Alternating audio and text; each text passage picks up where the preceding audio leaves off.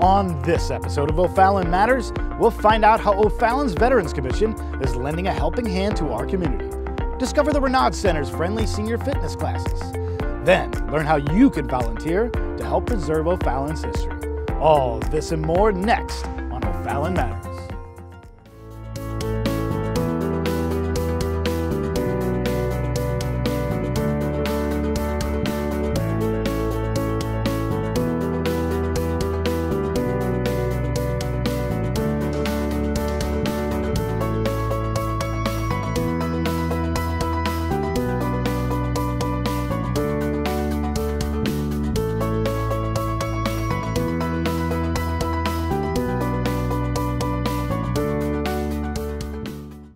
Welcome to O'Fallon Matters. I'm your host, Joe Richter. Our first story takes us for a spin into the world of vehicle maintenance. Check out how O'Fallon's Fleet Division keeps other city departments cruising.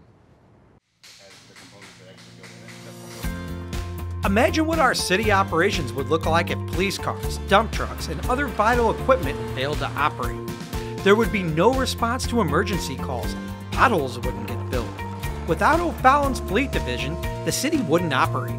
Fleet maintains in excess of $20 million worth of vehicles, trailers, and equipment. Fleet is behind the scenes taking care of all the equipment that is breaking down, all the vehicles that break down during these important times when there's a snow event coming down. All these vehicles have to be on the streets. The citizens demand it, it will happen. And with that, we make sure that all these vehicles are up and running and going smooth and functioning safely. We all know the importance of the police department being able to react to any, uh, any police call that comes through. And ultimately, we understand that those vehicles have to be on the road, have to be moving, and get that police officer there safely and to have that police officer be able to respond. The Fleet Division provides vehicle and equipment services of more than 575 vehicles, equipment, and trailers. They are a team of skilled professionals with degrees in automotive maintenance. The mechanics have strengths in different systems of vehicles, and as a team, they come together to ensure every vehicle and mechanic is a success. The mechanics I have do a fantastic job. I go home and I sleep at night easily knowing that the mechanics perform and what they put out is a stellar vehicle. That's one thing we pride ourselves on. Um, no kickbacks, and kickbacks are vehicles coming back for maintenance. So no kickbacks and to ensure that each and every vehicle that we put back out on the street is safe and ultimately effective. Very particular on how I take care of these vehicles for one thing, so it makes me probably a better fit than possibly sending it out to uh, one of these local shops. I know my hands were on it. I, I'm gonna repair this thing like it was my own vehicle and that makes me feel better about them driving them on the road as well. The job never stops for Fleet. They conduct in excess of 48 preventative maintenance jobs a month. A PM will always turn into a corrective maintenance job. This doesn't include other modifications, upgrades, or recalls. O'Fallon's fleet mechanics perform maintenance better, faster, and cheaper. And each mechanic can average somewhere between 300 and 500 work orders a year. These mechanics have a passion for solutions. One of the most things I like about the job is, aside from the people that we work with every day, is the satisfaction of seeing the finished product, you know. Seeing a, a parking lot full of cars that are broke down, cars, trucks, equipment, whatever it may be, getting them in the shop, repaired, and back out to the proper department. That's probably what I love the most, is the satisfaction of the completion. I come from a background working in a Ford dealership and it was just dealing with customers and now we're, you know, working for the city. It's a totally different aspect.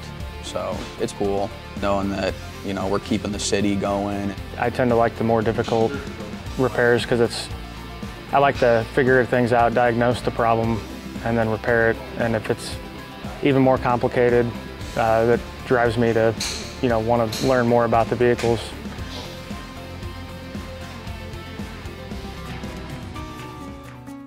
Ultimately, Fleet wants other divisions to understand that no is not an answer to their maintenance and modification needs.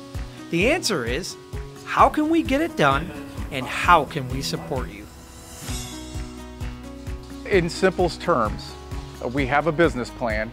We actually act like a business. We treat it like a business. We want your business and we want to keep your business. So we believe in our customer service for these vehicles. We take care of every vehicle, every piece of equipment, and every tool that's out there. The elected official or resident doesn't notice fleet, then we are ultimately effective.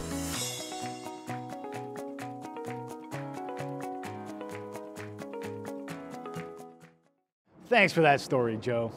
Next on O'Fallon Matters, I had a chance to sit down with O'Fallon's Veterans Commission to learn more about their public outreach within the community. Here is that story.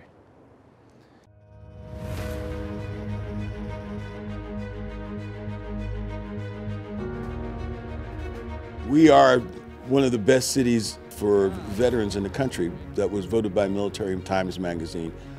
A veteran in this community just needs to only ask for help and, and the resources are there. We have numerous veterans organizations in the city here. We have the VFW, the American Legion, the AMVETS, the Marine Corps League. Uh, any of those can help out with anything. All you got to do is give them a call. The Veterans Commission, we started a little over 20 years ago. Our original mission was to monitor the affairs around the Veterans Memorial. The commission at that time wanted to expand the role of the commission to assist veterans in the community. One of the first things that we did was open our Veterans Affairs office, which is here in, in City Hall. We felt that being able to provide more services to the veterans of the community would benefit not only the veterans of the community, but the community itself as well.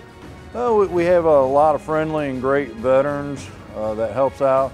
We have a lot of great leadership here in the city.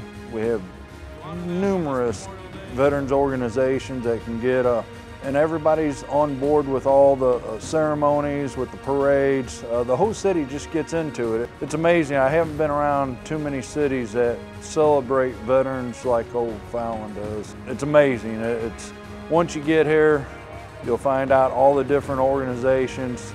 The people are friendly and anybody will do anything for you. You can always just make a phone call to any organization, to any veteran themselves, or you can even call the city hall and they always direct you to the right veteran or to the right organization. Uh, through the holidays, we offer a lot of free meals, uh, housing. We can help out with just about anything. Um, all you got to do is ask us, and somebody will step up here in the city of O'Fallon. Disabled veterans do get discounts for certain utilities. That was something that the commission uh, brought forth to the city council and they passed that. We have an HOA outreach program where uh, members of the commission go to the local HOA meetings where we can actually answer questions from the veterans and community, offer information, and veterans that need specific help to send them in the right direction.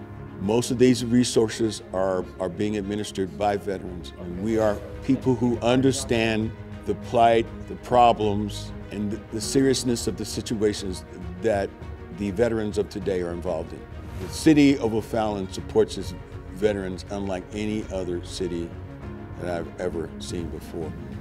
None of the accomplishments that we have achieved over these years would have been possible without the support of the mayor and the city council. Without that support, there, we just couldn't do any of it. They trust this commission to make the right decisions and make those suggestions and concerns to the council that would honestly benefit us being able to provide more and more services to the veterans of, of this community. To be a member of the Veterans Committee, you just go to volunteer services and, and putting in an application. We will not turn somebody away. There's always something to do, someone to help the veterans of this community and their families to know that the city does have resources to help them and their families. And I don't know any other city that has that many avenues to, to follow or go through to get help for veterans. It's an amazing place to live for veterans, uh, let alone the jobs. There's plenty of jobs. There's uh, just about anything you can ask for for a veteran.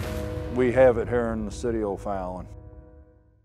The O'Fallon Police Department just received a special designation for its ongoing commitment to public safety. Joe Meyer has more.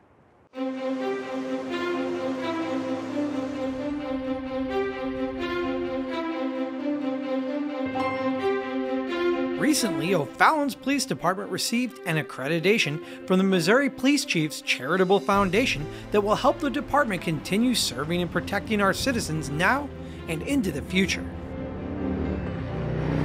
O'Fallon is now the 58th city in the state of Missouri to receive certification through this foundation. And being about only 4% of police departments nationwide are accredited or certified through an organization such as this. What this does is it shows this monumental task that the O'Fallon Police Department is providing police services in the standards set forth by the 21st century policing standards. So on the 18th of August, I came out and met with the mayor, the city administrator, the chief of police, did an assessment on the record center, the jail, uh, an overall review of the, uh, the building itself. Um, I personally went through all 209 of the standards, and I will tell you that uh, standing here before you, I'm very impressed with the men and women of the O'Fallon, Missouri Police Department. The designation of being a certified law enforcement agency is a direct representation of the professionalism, contemporary policing practices, and quality of service our organization is providing to the community. Throughout the certification process, Missouri Police Chiefs Charitable Foundation has a standard, a list of standards that each department looking to achieve certification must meet. The department, having certain standards, written policies, would open those policies uh, to the auditors that came in to look here at the department, and in doing so, would have to verify they are meeting the standards set forth um, by the best practices and by state law. And also, we would show proofs or samples um, of how we are achieving such things. So not only do we have these policies written down, we had to prove through auditing uh, police reports that have been written in our records to training policies and procedures and such to show that not only do we talk about it, but we actually do what we talk. Everybody has been very cooperative. It was a learning experience. Um, you can imagine uh, somebody coming into your business and looking at all your files and procedures and then actually talking to uh, some of the staff as to how they do things and why. So through that process, a report was written. I shared that report with the, uh, with the mayor and the city administrator and the police chief and it's been recommended that the City of O'Fallon receive accreditation through the Missouri Police Chiefs Charitable Association. Congratulations to the O'Fallon Police Department for achieving this important accreditation. If you would like more information on the O'Fallon Police Department accreditation process, please go to www.o'fallon.mo.us/pd. O'Fallon has a rich history, and that storied history is well preserved right here in our city. Find out how you can volunteer to preserve our history. Here in O'Fallon, you don't need a time machine to revisit our history. The O'Fallon Historical Society has an archive of photographs, documents, and other artifacts that will take you back through our city's heritage. Right now, our collection of over and above all the artifacts that we've, we've gathered uh, consists of somewhere between three and 4,000 images and somewhere around 600 documents pertaining to uh, the city, the fire department, and other organizations. Most of our images have been digitized, mostly because um, the originals are not part of our collection. People have loaned them to us and um, we've given them right back, and that's worked beautifully. One of the things we're most proud of is the fact that all the artifacts and furnishings that are in the Log Cabin Museum are actually related to O'Fallon. They're from O'Fallon. They're not just a, a, period piece from somewhere else. And so when you come into the log cabin, you are really seeing O'Fallon's history, all the way from the uh, bathtub that the uh, Sisters of the Most Precious Blood donated uh, that they brought here from Switzerland to um, hair dryers to um, the band uniform that our first mayor wore when he organized um, the community band. So everything here is O'Fallon. The last 20 years, Pat has dedicated her time in collecting and preserving our city's history but there is still more to be discovered. Our next step really is to uh, bring in people who are keeping the images and so forth from the 1960s on. I understand there's a really active Facebook community, and that's great. Um, but we'd really love them to share those uh, images from, say, 1950 on, really. Um, so that we can bring our collection up to date and make it more complete. The O'Fallon Historical Society is always looking for new members, and everyone is welcome to join. You know, people tell us that the society word is the wrong word to use. Sounds like a bunch of little old ladies having tea. Well, you know, we're, we're not quite there. But we would, would welcome younger members. Um, I know that most families now are their schedules are kid-centric, and I understand that. But if they can uh, tell us how they'd like to participate or what kind of meetings they'd rather attend, do they just want to hear uh, lectures or see photo exhibits or whatever, we'd, we'd love to change ourselves to suit them. We're happy to do that. We just want to get more people involved and eventually, quite literally, hand the torch to them. I've been a member since 1999, uh, 20 plus years. Uh, started out basically just getting, you know, enjoying the company of the, of the residents here who had been here the generation previous. As I became involved with my wife, we've had great times here. We've had wonderful uh, uh events out here in the park and Civic Park over the years and a lot of enjoyment with people coming in and taking the tours and seeing the, the historical aspects of O'Fallon. One thing that I wanted also to, to, ex, to expand on is the importance of your family with their history. I'm a grandfather now, and that is vitally important for my, my children and my grandchildren to understand where they came from and the history of where they live. One thing back in 2006, which was a sesquicentennial, which was 150 years, I just had a young granddaughter. And I'm not going to see a bicentennial of the, of the city of O'Fallon, but my granddaughter will. My granddaughters are going to be here. I want them to be involved also. And I would like for other granddaughters and great-granddaughters to be involved and grandsons to be involved with O'Fallon's history because it's vitally important to keep those lines alive.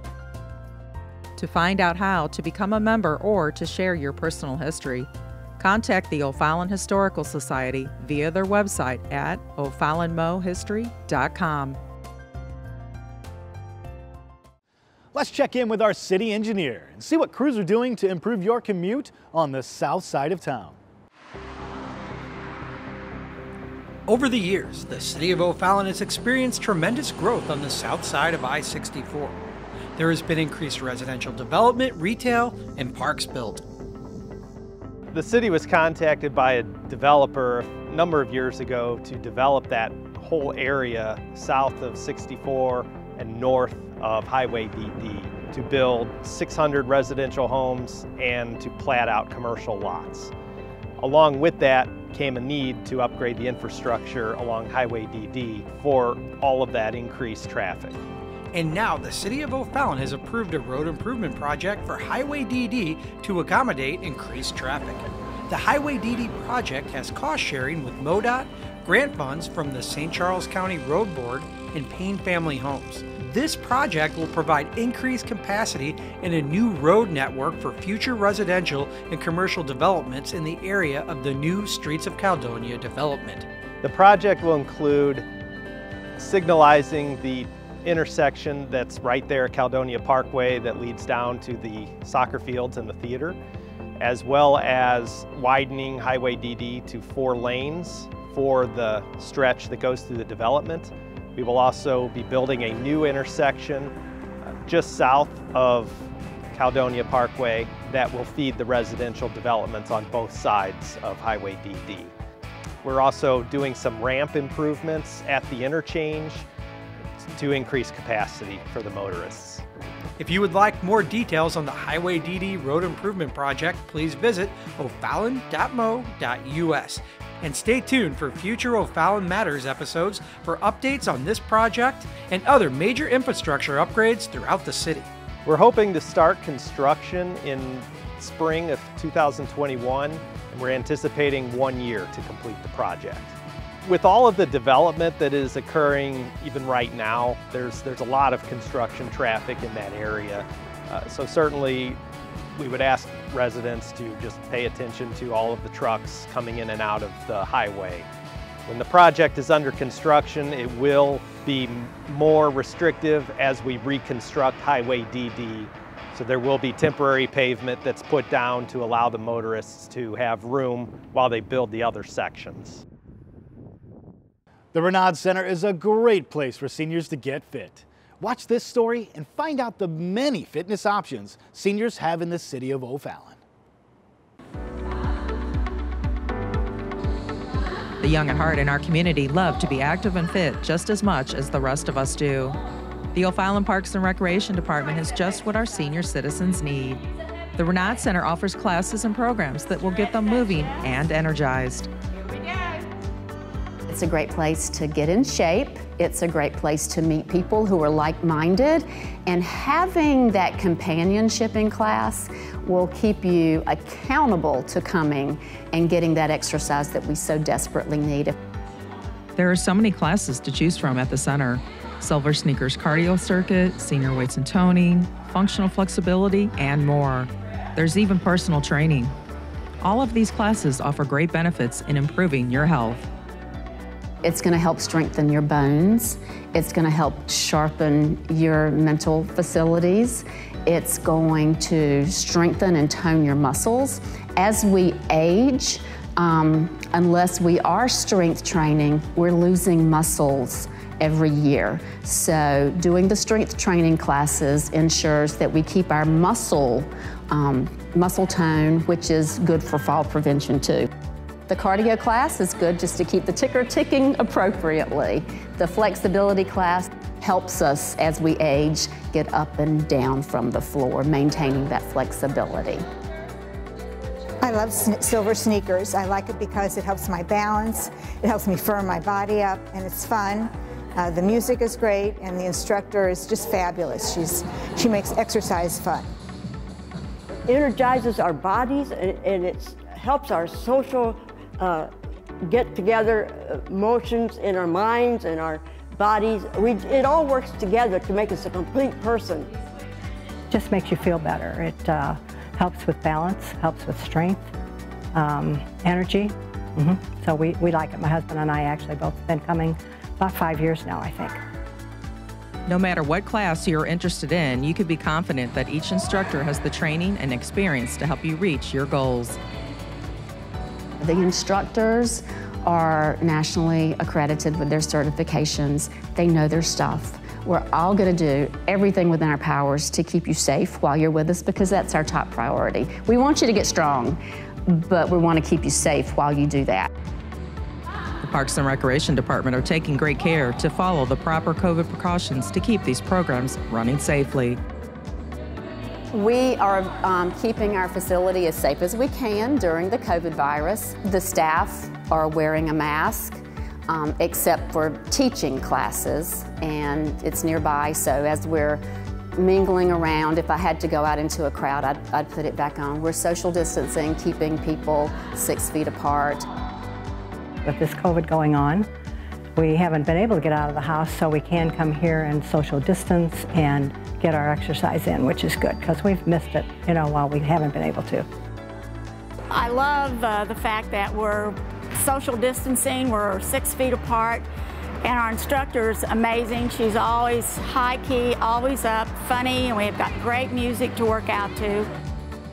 There are other options for those who would rather participate from home. We do have some exercises online for people to look at on the Facebook page, um, on the Renaud Center's Facebook page. So anybody that's, you know, their personal comfort level, if it's not, if they're not ready to come back to the facility, we do hope they're taking advantage of those online classes. When you do um, feel like you're ready to come back, we're here for you. I'd advise anybody that thinks they're getting too old, you're never too old. Okay, so I, I, I just want to inspire everybody to come and work out with us here at the Renaud Center or the O'Day Lodge, either one. They're terrific. Are you ready to get healthy and fit? Visit RenaudCenter.com for a list of classes and get started today. Thanks for joining us today. If you have a good story idea, let us know. Email us at o'fallontv at o'fallon.mo.us. We hope you have a safe and happy holiday. And remember to give back to your community because O'Fallon matters to us all.